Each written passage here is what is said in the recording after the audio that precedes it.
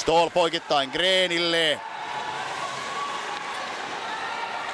Rykler ja Kyllä sieltä itävaltalaisjäähy tulee siellä. Oli kiekottoman pelaajan estämistä oikeassa laidassa ja Setzinger sieltä lopulta jäähy tulee. Ja onko tämä sitten Itävallan kannalta lopun alkua?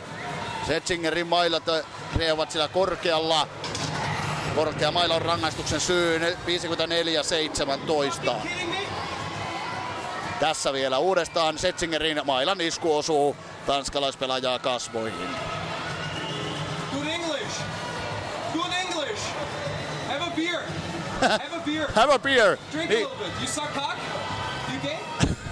You gay?